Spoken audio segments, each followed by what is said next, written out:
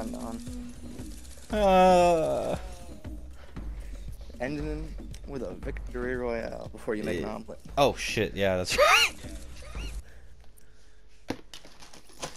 Alright. 394 bars collected during that game alone. Gee, why do I have such low fucking things? I don't know.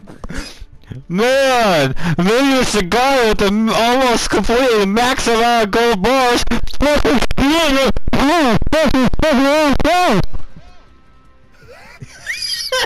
I got something to show you. I gotta find it though. I'm clipping that because that was fucking hilarious.